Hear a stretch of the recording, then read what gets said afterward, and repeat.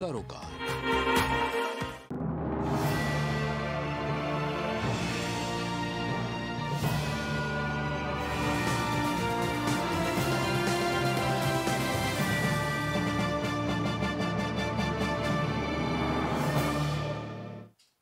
नमस्कार, आप देख रहे हैं प्राइम टीवी और मैं हूँ आपके साथ मुस्कान अजमानी। रुक करते हैं यूपी की बड़ी खबरों की ओर। शाहजहांपुर में यूपी के मुख्यमंत्री योगी आदित्यनाथ एक जनसभा को संबोधित करने पहुँचे। इस दौरान उन्होंने खिरनी बाग में एक जनसभा को संबोधित किया, जिसमें शाहजहांपुर महानगर के मेयर पद की प्रत्याशी अर्चना वर्मा समेत भाजपा प्रत्याशियों के पक्ष में वोट करने की अपील की गई है। साथ ही उन्होंने यूपी के वित्त मंत्री नगर विधानसभा से विधायक सुरेश कुमार खन्ना की तारीफ़ करते हुए शाहजहांपुर के विकास पथ की चर्चा की है। उन्होंने पीडब्ल्यूडी मंत्री जितिन प्रसाद और सहकारिता मंत्री जेपीएस राठौर की तारीफ़ में कहा कि यूपी में सरकार कहीं भी कोई योजना की घोषणा करे तो इनका शाहजहांपुर में उस योजना को लाने का भरपूर प्रयास रहता है। इस दौरान मंच पर ज़िले के प्रभारी मंत्री नरेंद्र कश्यप, जिला सहकारी बैंक के अध्यक्ष धर्मेंद्र प्रताप सिंह, अवधेश दीक्षित, पूर्व विधायक शकुंतला देवी मौजूद। सभी छह भाजपाई विधायक मौजूद रहे। जीवन में व्यापक परिवर्तन का एक माध्यम भी हमारे लिए और इसीलिए सबसे अपील करने के लिए आया हूँ कि चुनाव,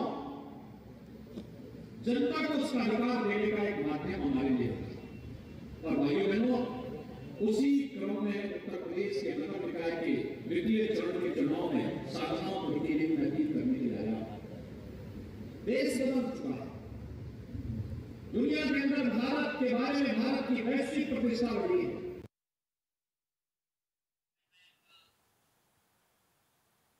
तो वहीं सुल्तानपुर में आम आदमी पार्टी प्रत्याशी के जुलूस में नाबालिग बच्चों के चुनाव प्रचार का मामला सामने आया है, जिसके बाद डीएम जसजीत कौर ने मामले का संज्ञान लिया और एसडीएम और सीओ को डीएम ने जाँच सौंपी है। साथ ही सत्यता पाए जाने पर प्रत्याशी के खिलाफ एफआईआर दर्ज करने के भी दिशा निर्देश दिए हैं।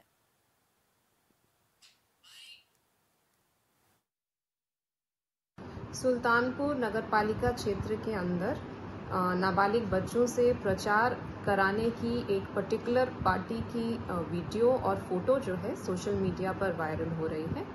उसका संज्ञान लेते हुए एसडीएम और सीओ को निर्देशित कर दिया गया है कि तत्काल वो इसकी जाँच कर लें और यदि किसी प्रकार से आदर्श आचार संहिता का उल्लंघन या नाबालिग बच्चों को यूज़ करने का जो है एविडेंस आता है तो नियमानुसार सुसंगत धाराओं में इसमें आवश्यक कार्रवाई करें और उसकी रिपोर्ट मुझे दें।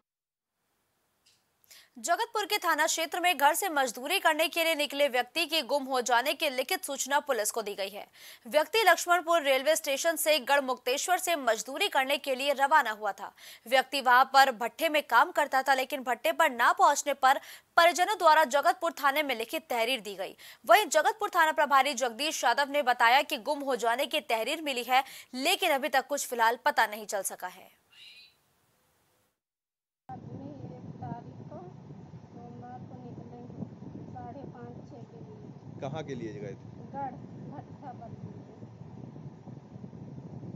अब कोनो पता नहीं न कहाँ है कहाँ नहीं न कोनो खबर नहीं आई। तो अभी तक उनकी कोई अता पता नहीं है? कोनो पता नहीं न कहाँ का गए कहाँ का नहीं गए थाने में डाल कोनो कार्रवाई नहीं हो रही। कौन सा थाना पड़ता है आपका? जगतपुर। क्या समस्या है आपकी? मेरा लड़का पर गया है। कितनी तारीख को गए हैं यहाँ से? एक तारीख को। कहाँ पे काम करते हैं? गढ़ है तो अभी तक कोई जानकारी हुई कि नहीं हुई? जानकारी नहीं है। थाने में एप्लीकेशन दी ना है। कोई सुनवाई आज तुलक नहीं आज सात दिन का होगा। तो अभी तक कहीं कोई पता नहीं चला? कहूँ पता नहीं चल रहा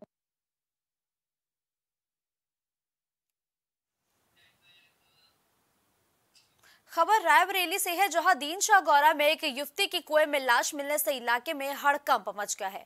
मृतक की पहचान गौरा बाज़ार निवासी बेबी सोनी के रूप में हुई है। लाश मिलते ही परिजनों ने पुलिस को सूचना दी। वही मौके पर पहुँची पुलिस ने ग्रामीणों की मदद से शव को बाहर निकाला। थाना अध्यक्ष शरद कुमार ने बताया की बेबी मानसिक रूप से विक्षिप्त थी। शव को कब्जे में लेकर फ़िलहाल पुलिस ने पोस्टमार्टम के लिए भेज दिया है। वही रिपोर्ट आने के बाद आगे की कार्रवाई की जाएगी।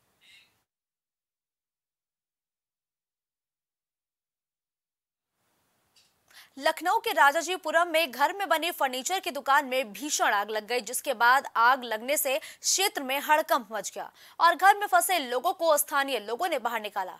कुछ दिन पहले ही घर की दुकान में फर्नीचर का काम शुरू किया गया था और आग लगने से लाखों रुपए का सामान भी जलकर राख हो गया है, जिसकी सूचना स्थानीय लोगों ने पुलिस और फायर ब्रिगेड को दी है। पूरा मामला A block, Karbala road, Jankipuram का है।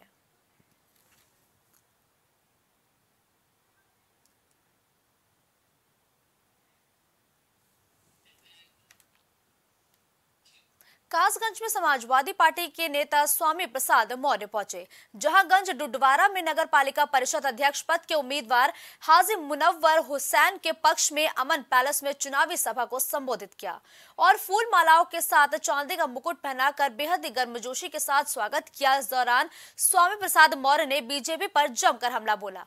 उन्होंने कहा की डबल इंजन की सरकार फेल है, नगर निकाय चुनाव से ही 2024 में भाजपा की विदाई होगी।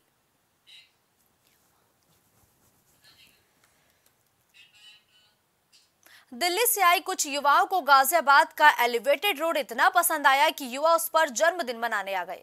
लेकिन पुलिस की निगाह इन पर पड़ गई और पुलिस ने सात लड़कों को धर दबोचा वहीं जन्मदिन के जश्न का वीडियो वायरल हो गया था और एलिवेटेड रोड पर अक्सर स्टंट और इस तरह के वीडियो वायरल होते हैं, जिसको लेकर पुलिस ने अब चौकसी बढ़ा दी है। इसके बाद पुलिस ने कार्रवाई करते हुए कुल सात लोगों को गिरफ़्तार किया है।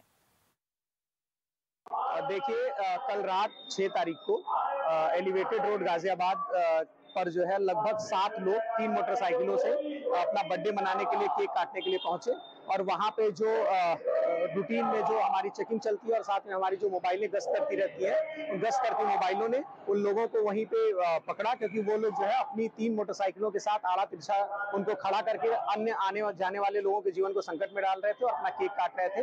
और इसमें पते की बात यह है कि ये सारे सातों लड़के पांडव नगर और दिल्ली के हैं। कोई भी यहाँ गाजियाबाद का लोकल निवासी नहीं है, जो सिर्फ़ इस काम के लिए यहाँ पे आए थे, इनको हिरासत में लेके आगे की कार्रवाई की गई है। उसकी मदद से हो पाया है जी, बिल्कुल। जो कैमरे लगे हैं, उनके साथ साथ जो हमारी पेट्रोलिंग पार्टी है, इन लोगों ने ही उनको कैमरे में देखते हुए इन्फॉर्म किया गया और हमारी पेट्रोलिंग पार्टी द्वारा उनको हिरासत में लिया गया तो वहीं राजधानी लखनऊ से सटे बाराबंकी ज़िले के रामपुर भवानीपुर में उप स्वास्थ्य केंद्र का हाल काफ़ी ज़्यादा बुरा है। आलम यह है कि आज तक उप स्वास्थ्य केंद्र पर बिजली तक नहीं आई है। उप स्वास्थ्य केंद्र में दिन रात मरीजों का जमावड़ा लगा रहता है तो वहीं गर्भवती महिलाओं की डिलीवरी भी यहीं पर होती है। लेकिन बिजली न होने की वजह से समस्याओं का सामना भी करना पड़ता है। स्वास्थ्य केंद्र में आने वाले मरीजों का यही कहना है कि आखिर आम लोगों की समस्या का निदान कब किया जाएगा? दरअसल स्वास्थ्य केंद्र में बिना लाइट के मरीजों का हाल बेहाल हो गया है।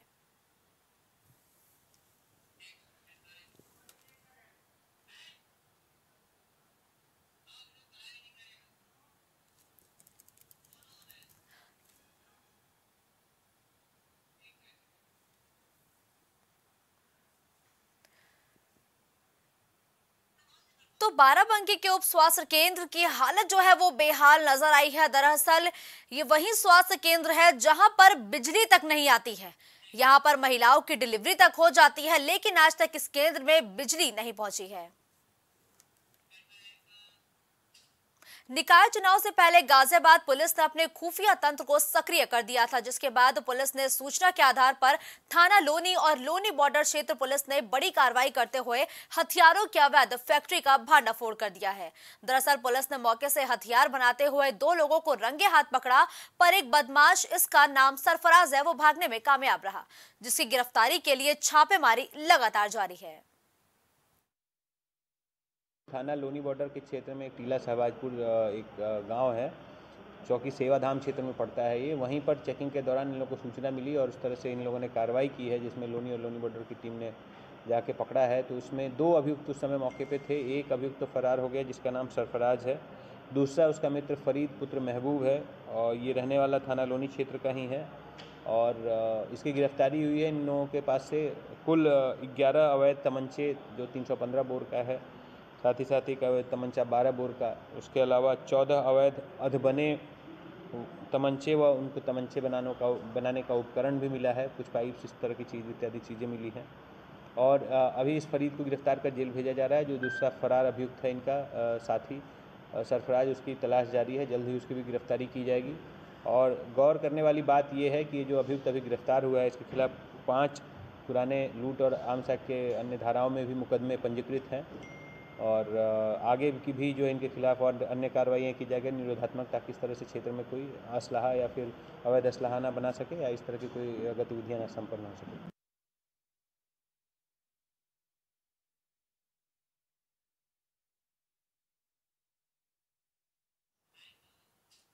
अब खबर गाजीपुर से है, जहाँ धारदार हथियार से मारकर एक बुज़ुर्ग की हत्या कर दी गई।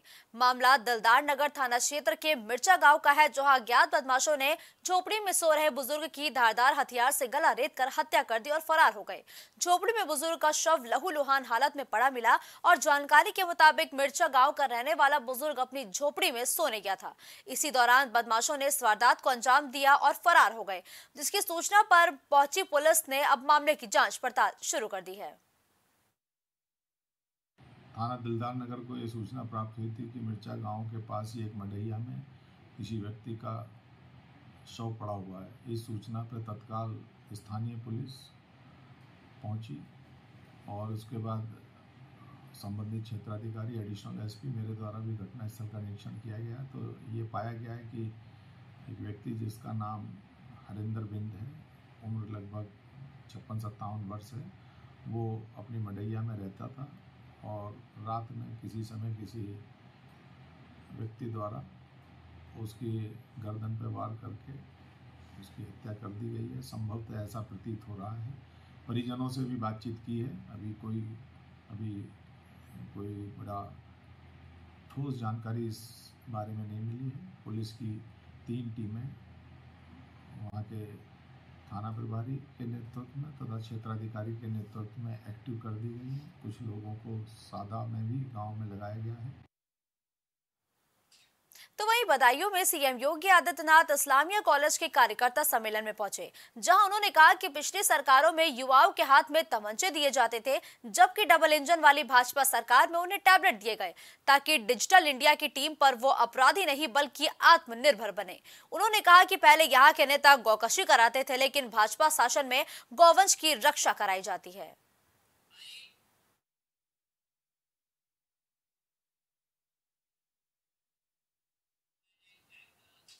खबर बुलंदशहर से है, जहाँ कोतवाली खुर्जा नगर इलाके में समाजवादी पार्टी के प्रत्याशी द्वारा आचार संहिता के साथ साथ यातायात के नियमों का भी खुलेआम उल्लंघन किया गया है। समाजवादी पार्टी के प्रत्याशी के द्वारा निकाली जा रही बाइक रैली में दोपहिया वाहनों पर नज़र नाबालिग बच्चे आए हैं। वही पूरे मामले को लेकर अब प्रशासन ने चुप्पी साध ली है।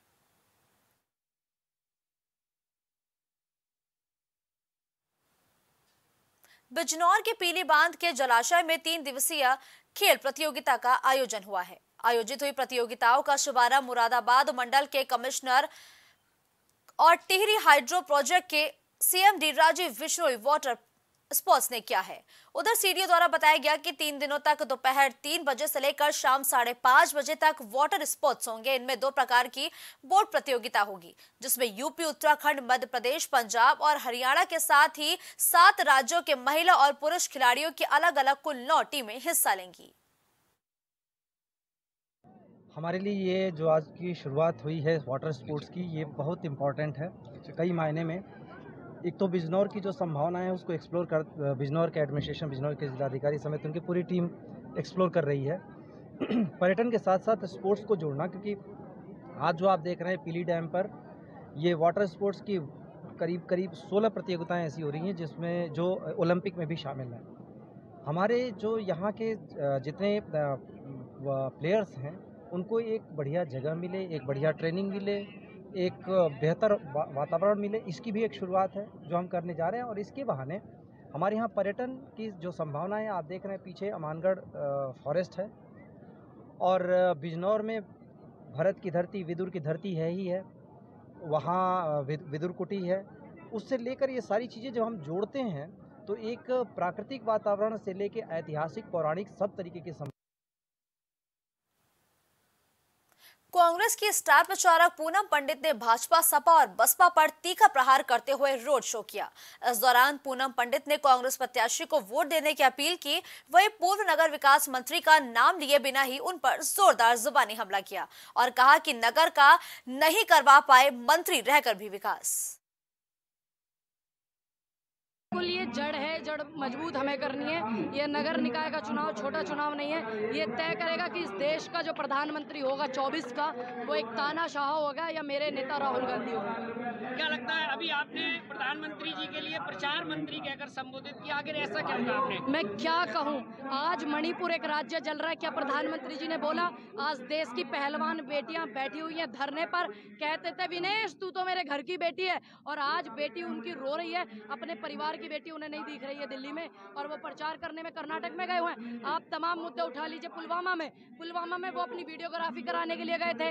जब पुलवामा कांड हुआ था, सतपाल जी कितना उठा रहे मुद्दे को। ना वो मुद्दा दिखाया जा रहा है इस देश की मीडिया में, ना ही मणिपुर का दिखाया जा रहा।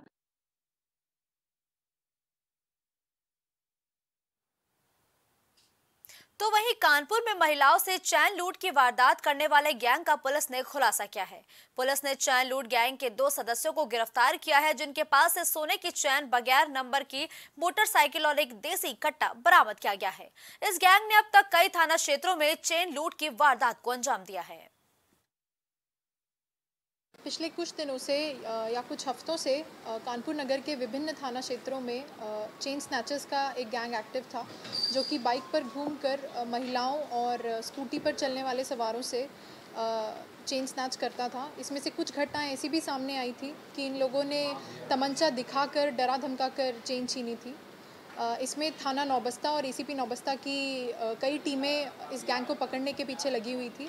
कल रात को इसमें से एक टीम को सफलता मिल गई है और प्रताप होटल के पास से इन दो स्नैचर्स को लाइव चेजिंग में पकड़ा गया है। इनमें से एक का नाम है राजेश कुमार, जो कि जनपद लखनऊ का रहने वाला है। इसकी उम्र 35 वर्ष है और इसके ऊपर जनपद लखनऊ से 23 मुकदमे हैं। लखनऊ से इसके ऊपर दो गैंगस्टर के भी मुकदमे हैं।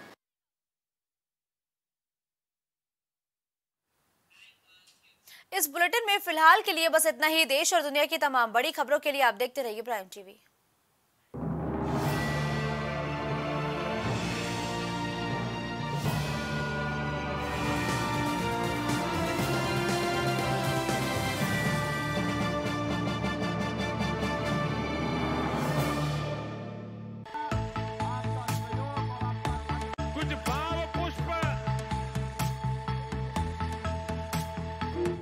देख रहे हैं प्राइम टीवी सच साहस सरोकार